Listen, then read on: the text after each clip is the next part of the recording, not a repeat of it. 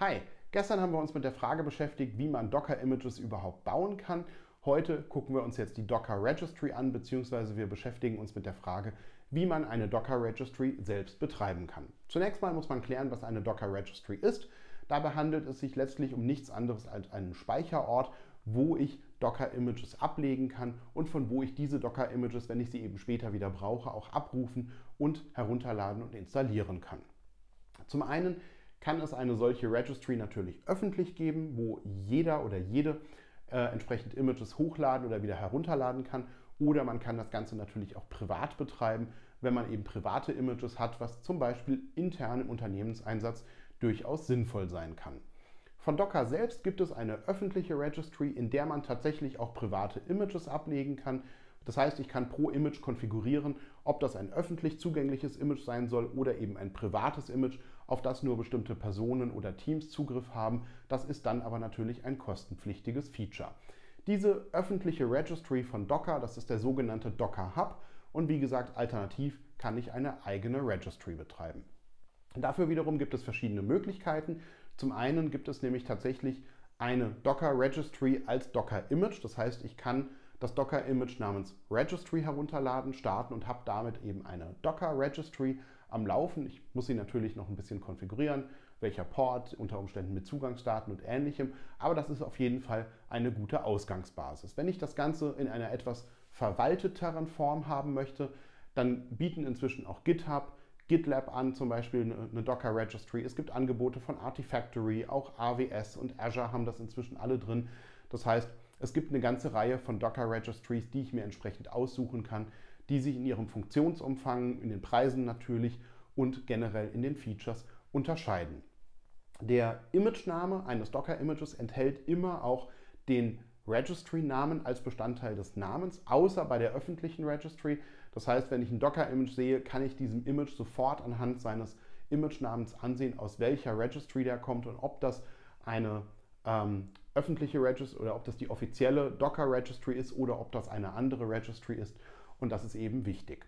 Ansonsten unterscheiden sich diese Tools natürlich auch im Hinblick auf ihre äh, Security-Features, äh, im Hinblick auf Authentifizierung, ob ich das zum Beispiel mit LDAP integrieren kann, ob ich das mit einem Active Directory integrieren kann und so weiter und so fort. Und was ich im Hinblick auf das Selbstbetreiben vielleicht nicht ganz aus, äh, außer Acht lassen sollte, ist, dass da auch eine ganze Menge an Datenvolumen ähm, entsteht. Jetzt sind Docker-Images nicht so groß wie virtuelle Maschinen, aber es handelt sich eben doch um zwei- oder dreistellige Megabyte-Beträge und das läppert sich einfach im Laufe der Zeit zusammen.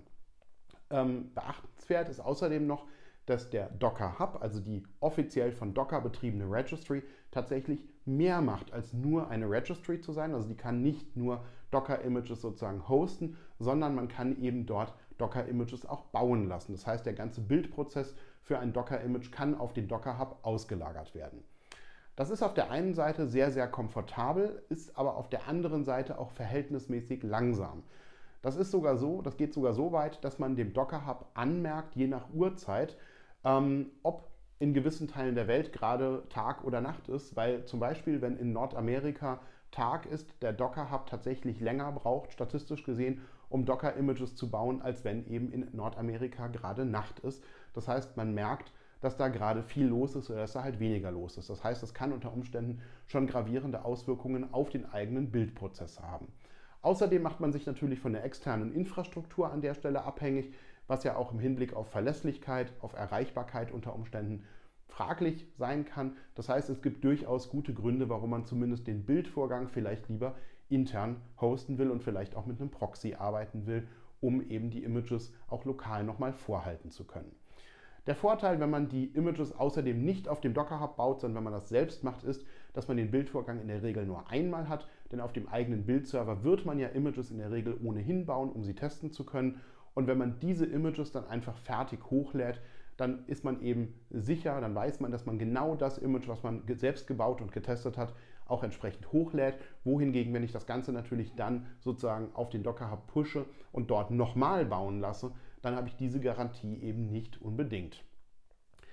Das heißt, man kann den die Registry bzw. den Docker Hub so benutzen, dass man eben wirklich nur fertig gebaute Images dorthin pusht und dass man dieses Autobild-Feature nicht äh, verwendet, sondern dass man diesen Bild auf jeden Fall lokal ausführt. Und das ist was, was aus unserer Erfahrung sehr, sehr empfehlenswert ist, weil man damit einfach mehr Kontrolle und eine bessere Vorhersagbarkeit über die Images hat. Was noch zu beachten ist, wenn man Docker-Images baut, beziehungsweise wenn man sie in eine Registry äh, verschiebt und sie dann verwendet, ist natürlich das Thema Security. Das heißt, im Hinblick auf Docker-Images gibt es eine ganze Reihe von Aspekten, die man im Hinblick auf die Security beachten muss, sowohl beim Bauen als auch beim Betreiben des Images. Und genau damit beschäftigen wir uns dann morgen. Das heißt, wir gucken uns morgen an, was, ich, was es für sicherheitsrelevante Aspekte im Hinblick auf Docker gibt, aber eben auch noch so ein paar weitere Dinge, woran man vielleicht denken sollte. Für heute möchte ich mich erstmal bedanken, dass ihr mit dabei gewesen seid.